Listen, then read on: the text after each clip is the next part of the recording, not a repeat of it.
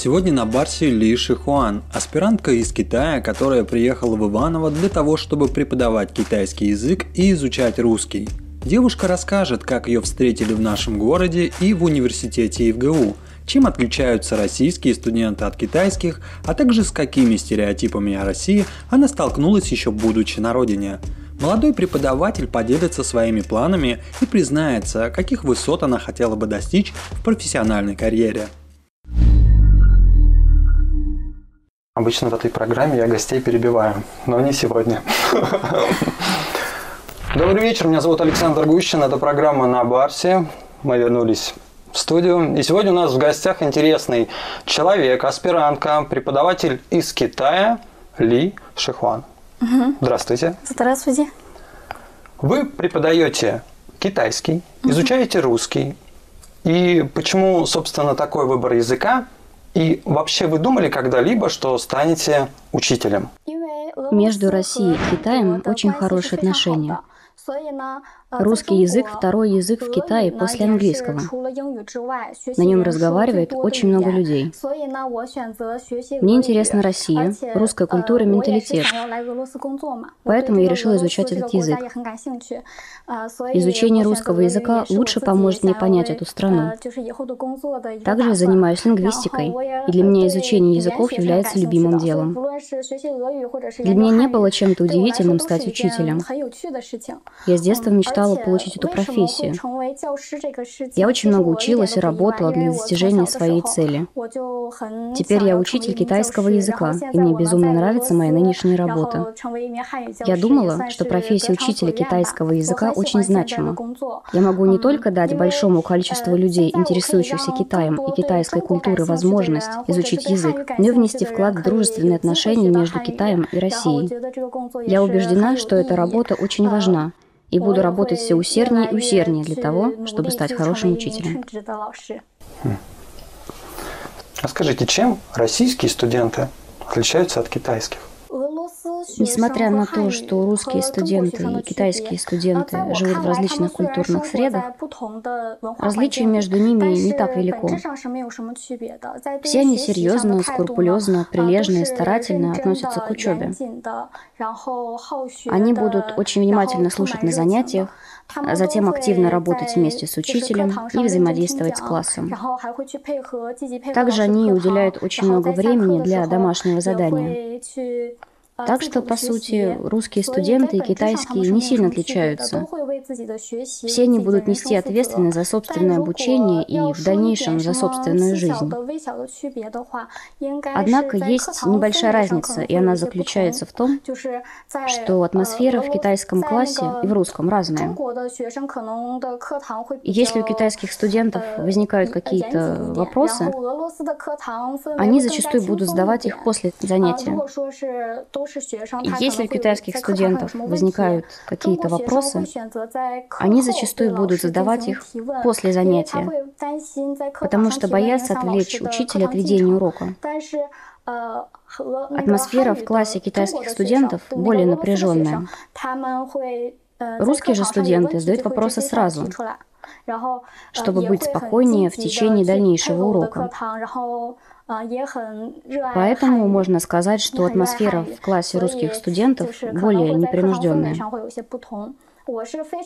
Я очень люблю своих русских студентов, потому что они не только усердно учатся, проявляя энтузиазм и проникнуты любовью к китайскому языку, но являются моими хорошими друзьями вне занятий. Они очень часто помогали мне в моей жизни в России. Например, когда я впервые приехала сюда и жила недалеко от университета. Русские студенты показали мне город, рассказали, какие интересные места здесь есть, рассказали про культуру Иванова, чтобы мне было комфортно здесь жить, и посещать не только окрестности университета, но и центр города. Также были ученики, которые помогали мне подготовиться не только к уроку в университете для группы, но и помогали мне с моими заданиями в моем китайском университете. Например, Вика помогла мне найти пособие российских авторов по китайскому языку для моей работы в китайском университете. Также студенты дарили мне очень много небольших подарков. Например, цветы в красивой бумаге или веревочку на руку, которую китайцы носят в знак года своего рождения. Помимо этого, меня приглашали посмотреть пьесы в театре, чтобы я смогла почувствовать романтику России. Все это помогает чувствовать себя очень счастливой здесь. Я очень люблю своих студентов из России. Учителей. Скажите, в каких странах вы были еще? И, может быть, где-то вы еще преподавали? Россия – это первая страна, которую я посетила. Это страна, где я сейчас работаю, живу. А если будет возможность, я с удовольствием посещу и другие страны для того, чтобы преподавать китайский язык и помогать людям разобраться в китайской культуре. Я очень хочу дать возможность большому количеству людей, интересующихся Китаем, изучать китайский язык. Вообще моя работа заключается в том, чтобы преподавать китайский язык в китайских средних и начальных школах. Это значит преподавать китайскую литературу и сам язык. Это немного похоже на мою нынешнюю работу преподавателя китайского языка в России. Я также преподаю язык, знакомлю студентов с китайской культурой, но есть несколько различий. Например, мое преподавание в Китае больше сосредоточено на изучении литературы, навыков мышления и письма студентов, в то время как в России я буду больше уделять внимание развитию студентов навыков аудирования, говорения, чтения письма и других языковых навыков которые наиболее полезны для практического китайского. Конечно, если у меня будет шанс, я обязательно хотела бы попробовать себя в преподавании китайского в других странах.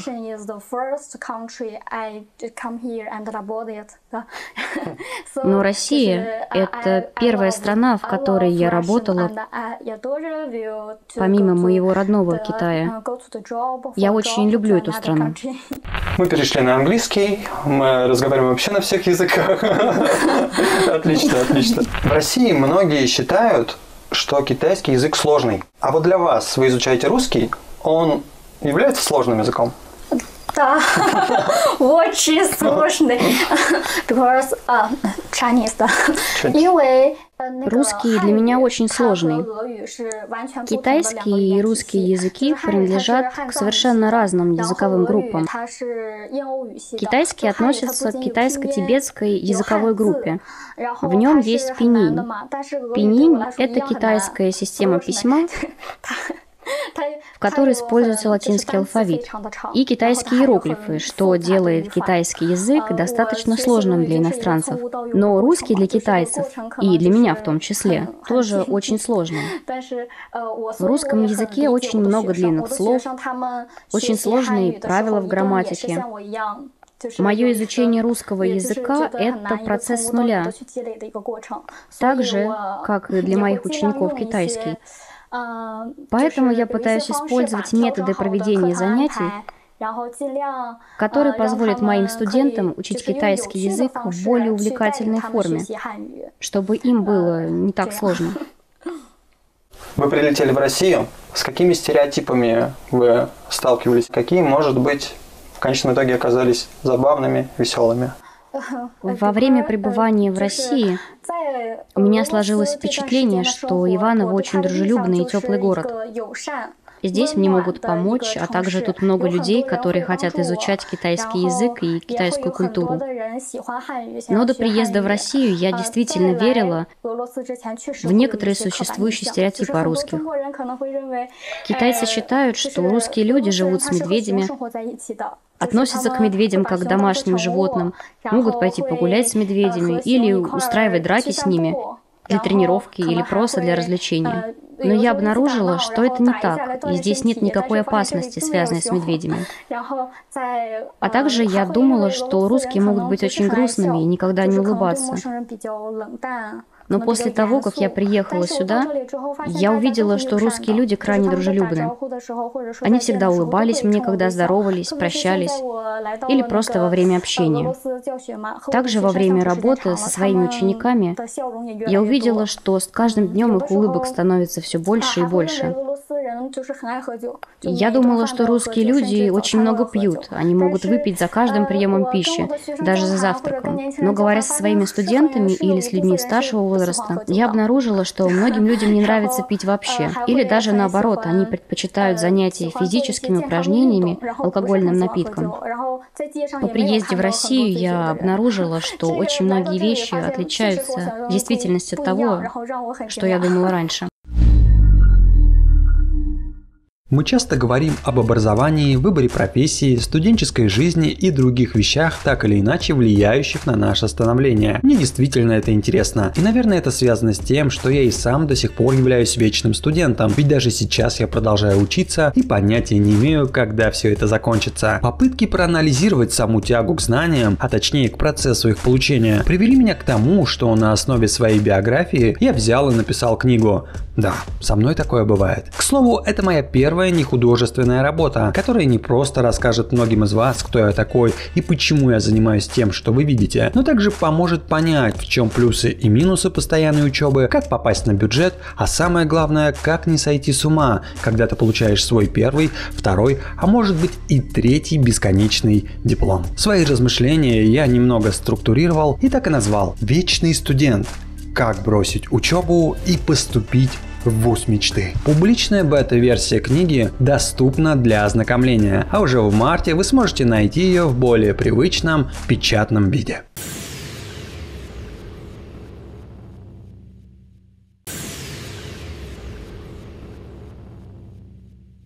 Расскажите, как вам университет ИФГУ и как вас встретило руководство и студенты этого учебного заведения? Мне он очень понравился. Прежде чем я приехала в Россию... Секунду. Вы должны были сказать тогда «да» и начать разговаривать уже по-русски без акцента вообще в этот момент. А только, только китайский, да. Нет, китайский, да-да-да. Я просто... Я пытаюсь шутить в этих условиях. Это очень сложно, да, сегодня особенно. Мне на русском-то сложно на самом-то деле, а сегодня вот у нас мультиязыковой такой выпуск получается впервые, кстати говоря, поэтому приходится что-то делать. Продолжайте, извините. Да, да, мне он очень понравился, и прежде чем я приехала в Россию, университет хорошо подготовился. Например, организовал машину, чтобы встретить меня в аэропорту. Подготовил для меня комфортабельное общежитие. Затем в понедельник со мной встретились ректор и руководитель международного отдела. Они очень тепло встретили меня и активно помогали мне решать мои рабочие и жизненные трудности. Студенты и волонтеры из нашего университета также помогали мне, и поэтому я себя здесь чувствую очень хорошо. Вы планируете заниматься педагогической, преподавательской деятельностью, но ваша цель, ваша профессиональная мечта, назовем это так, в конечном итоге. Как вы хотите, в какую сторону хотите развиваться? Я хочу посетить разные страны, будучи преподавателем китайского языка, проникнуться их местной культурой и обычаями. Это позволит людям, интересующимся Китаем и китайским языком, получить возможность изучать этот язык. Сейчас многие студенты хотят изучать китайский и заниматься работой, связанной с китайским языком, или даже жить в Китае. Спрос на преподавателей китайского языка неуклонно растет. Однако во многих странах ощущается нехватка преподавателей этого языка. Поэтому я хочу сыграть э, свою роль в данном вопросе и помочь большему количеству студентов выучить китайский язык. Я хочу предоставить тем, кто интересуется китайским языком, возможность изучать его. Надеюсь, что они смогут получить достаточно знаний, чтобы использовать китайский язык для выполнения работы, которая им нравится. Это позволит им стать более конкурентоспособными при трудоустройстве. Преподаватели китайского языка как иностранного являются связующим звеном для межкультурной коммуникации, неким окном, позволяющим другим странам понять Китай. Эта страна имеет богатую и древнюю историю, насчитывающую более пяти тысяч лет – она невероятно интересна и насыщена. И я верю, что китайская культура способна очаровать других людей. Также я хочу, чтобы жители всего мира понимали Китай. Например, его традиции, историю и национальные особенности. Я надеюсь, что эти вещи позволят им полюбить Китай. Мне бы очень хотелось, чтобы как можно больше людей приезжали в эту страну жить и работать. А также я надеюсь, что смогу внести свой вклад в дружественную связь между Китаем и зарубежными странами. Я настолько заслушался вообще звуком да, китайского языка, его звучанием, что забыл, что я спросил вообще. Такое у меня впервые. Как я знаю, скоро вы возвращаетесь в Китай, но позже все равно прилетите в Россию и продолжите свою деятельность. Как вы уже сказали, вы посетили здесь некоторые исторические памятники, архитектуру посмотрели, сходили в театры. Вообще, будете ли вы скучать по России в целом? И по городу Иваново, почему-то, может быть, конкретно вы будете здесь скучать? В следующем году я надеюсь вернуться в Россию. Было бы забавно, если бы ответили «нет, не буду скучать». OK，我我会非常想念这个城市的，就是呃，在这个 В следующем году я надеюсь вернуться в Россию, чтобы поработать некоторое время. 温暖，然后随和、友善，然后热情。 После того, как я уеду, я определенно буду скучать по России и по городу Иваново. Если в будущем у меня появится возможность вернуться, я обязательно ей воспользуюсь. 继续回到俄罗斯工作，或者是在这里呃 Иванова произвел впечатление теплоты и непринужденности. У вас в городе очень дружелюбная атмосфера. Здесь я чувствую заботу людей, любовь учеников. Руководство университета приняло меня очень радушно. Это гостеприимство создает внутри меня душевную теплоту.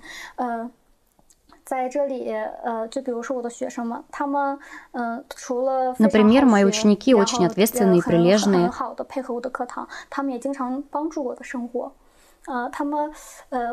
Они очень помогают мне в моей работе.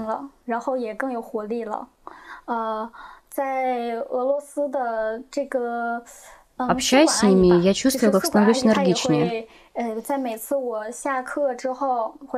Консьержка здоровалась со мной по-китайски каждый раз, когда я возвращался в общежитие. Это меня очень радовало.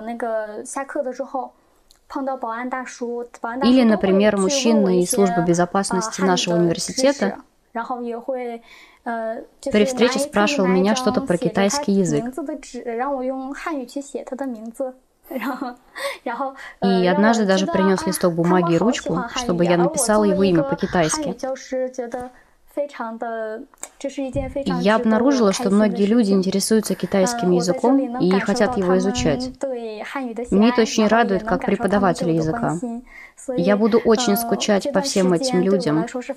Время, которое я прожила в России, навсегда останется в моей памяти приятным воспоминанием. Забавно за своими ощущениями наблюдать, когда ты такой, а, нихао, вот это мне знакомо. Yes, I know. Да, да, да. Очень здорово.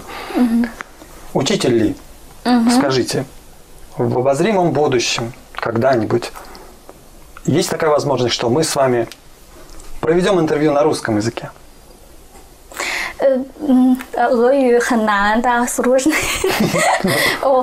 Русский язык очень сложный, и если вы хотите изучить его хорошо, то это не произойдет в одночасье. Я буду продолжать совершенствовать свои знания русского языка и надеюсь, что в ближайшем будущем я смогу работать и жить в России, свободно общаясь на нем. Перед тем, как я задам финальный вопрос, хотелось бы рассказать одну такую личную историю, ситуацию. В России скоро Новый год. Угу. Как я знаю, в Китае он чуточку позже, насколько мне известно. И в прошлом году я загадал себе такое желание, поставил себе одну из целей – провести интервью на английском языке. Но сегодня мы провели интервью на китайском. И это, ну, это действительно абсолютно непередаваемые эмоции. Но вас я хотел спросить вот о чем. Вы сказали, что занимаетесь любимым делом. Вы преподаете китайский, учите русский. И у нас есть в нашей программе традиционный вопрос. Он финальный, заключительный. Скажите, вы на данный момент счастливый человек? И я думаю, да. Но если да, то почему вы счастливый человек? Как вы думаете? 我我是非常喜欢我现在这份工作的，就是每当 Да, мне очень нравится то, чем я занимаюсь. 看到我的学生在我的教学之下，他们的汉语水平不断提高。Когда я увидела, что в процессе обучения мои ученики больше полюбили китайский язык и культуру Китая, я была очень рада. Некоторые студенты даже говорили мне, что хотят работать в Китае и стать преподавателями китайского языка в России. Это еще больше убедило меня в том, что Карьера, которой я занимаюсь, очень важна и значима. И я люблю ее все больше и больше. Просто бальзам для ушей. У нас так получается, что этот выпуск, скорее всего, выйдет под Новый год. Новый год. Да, я вас поздравляю с наступающим Новым годом. Желаю вам успехов в вашем деле, вашей карьере педагогической. Надеюсь, что в скором времени мы на каком-то из языков с вами пообщаемся. Русский, китайский, английский. На выбор. Я одинаково все не знаю. Для меня все одинаково сложные. И я хотел бы сказать сегодня, Виктория, вам большое спасибо за то, что вы нам сегодня помогли потому что без вас эта беседа не состоялась бы, была бы, была бы еще в несколько раз сложнее, хотя куда уже, да, казалось бы. Спасибо вам большое, то, что составили нам сегодня компанию и перевели нам все, что нам рассказал наш чудесный гость, преподаватель из Китая, аспирантка угу. Ли Шихуан. Спасибо большое вам. Я тоже спасибо. Я нервничал. Стресс. Что, что? Э, что? Что он сказал? Он нервничал. Нервничал. Стресс. Стресс. Стресс. А, я тоже. я тоже. I, I have a lot of pressure because I, I, I, I think, uh, 就是 if you don't understand me. да, да, да. Я, я не понимаю вообще, ну, половину там, типа, типа, нихао, такой. you have shown that it's how, how to how to say hello.